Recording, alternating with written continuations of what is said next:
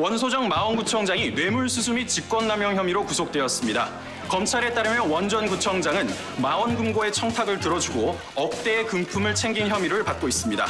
이에 앞서 스마트원 시티의 시공사인 Q건설 등에게서도 금품을 받은 것으로 보고 수사를 확대하고 있습니다. 그럼 구청장을 다시 뽑는 건가요?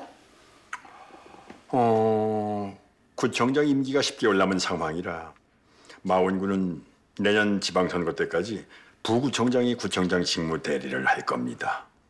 뭐 어쨌거나 구세라 의장이 준 자료가 큰 도움이 됐습니다. 의원실 책상 위에 놓아둔 마원 금고 관련 비리 증거 말입니다. 아니, 전 아닌데요? 아니 의장 명함하고 함께 있었는데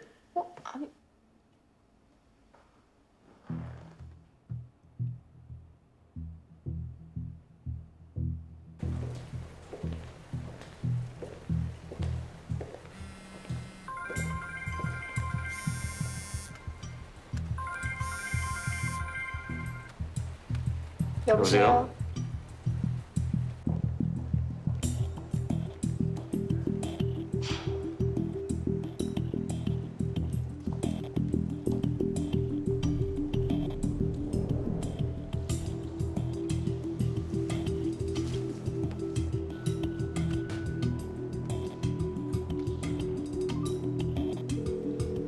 서공명입니다.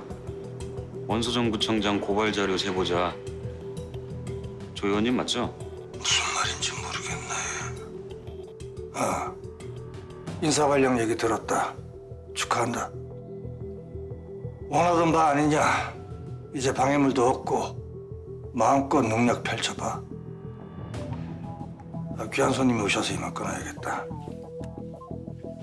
아이고 부구청장님 축하합니다. 다 조명대 의원님 덕분입니다.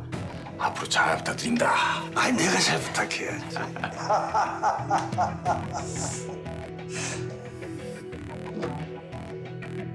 잔을 잡았으니 우리가 함께할 새 판을 짜야지.